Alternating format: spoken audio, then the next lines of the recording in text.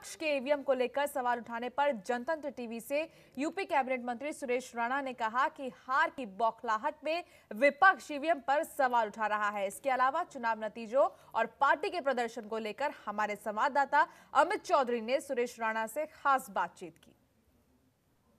हमारे साथ योगी कैबिनेट के मंत्री सुरेश राणा जी मौजूद हैं। सर, कल नतीजे आने वाले हैं। क्या अनुमान है आपको? नहीं देश की जनता ने पहले ही नतीजे तय कर दिए हैं और मैं कह सकता हूँ कि पाँच साल का जो कार्यकाल आदरणीय प्रधानमंत्री जी का रहा है, चाहे उनका गुजरात के मुख्यमंत्री के रूप में एक शानदार कार्यकाल रहा हो, चाहे पाँच साल का कार्यकाल देश के प्रधानमंत्री के रूप में रहा हो, जिस प्रकार की तपस्या उन्होंने की है, राजनीति सही मायने में, एक सेवा भाव से करनी है, उन्होंने बोला, मैं प्रधानमंत्री नहीं, प्रधान सेवक हूँ तो देश की राजनीति की परिभाषा बदल गई। और लगातार गाँव, गली, किसान, मजदूर, व्यापारी, नौजवान सबकी एक साथ चिंता करना, उनका अध्ययन करना और उनकी समस्याओं का समाधान करना।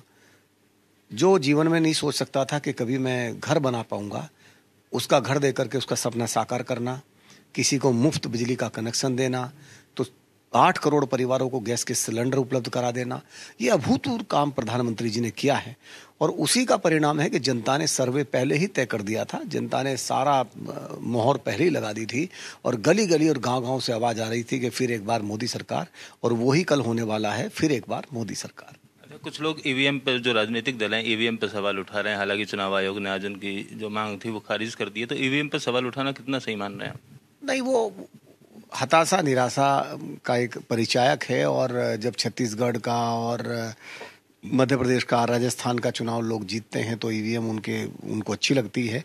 और जब देश की जनता मैंडेट मोदी जी के पक्ष में देती है, देश की जनता एक मजबूती के साथ मोदी जी की सुनामी देश में जब चलती है तो उन्हें पहले से ही लगा हुआ। और ये तमाम जितने भी गठबंधन हुए हैं, ये सारे गठबंधन पहले से ही इस बात का सबूत था कि इन सब लोगों को मालूम था कि देश में अंडर करंट है, देश में मोदी जी की सुनामी है, उन्होंने मोदी जी को रोकने के भरसक प्रयास किए। और देखा हुआ, लोकतंत्र में शायद आज़ादी के बाद पहली बार इस प्रकार के शब्दों का इस्तेमाल हुआ होगा। क्या क्या नहीं कहा उन पर जाति की टिप्पणी की, उन पर व्यक्तिगत टिप्पणी की, उनके परिवार की टिप्पणी की, क्या क्या नहीं कहा। लेकिन उस व्यक्ति ने जरा भी धैर्य नहीं खोया और इस देश को दिखाया कि लोकतंत्र में आस्था क्या होती है। और प्रधानमंत्री जी ने लोकतांत्रिक मर्यादाओं का पूरी तरह पालन करते हुए और एक एक शब्द सभी का सम्मान करते हुए बोला पश्चिम बंगाल में लोग बोलते हैं तो वो दीदी कह करके पुकारते हैं। ये है सही लोकतंत्र। तो मुझे विश्वास है कि पश्चिम उत्तर प्रदेश का किसान बहुत मजबूती के साथ आदरणीय मोदी जी के साथ खड़ा है और परिणाम पर उसका सीधा सीधा असर दिखाई देगा।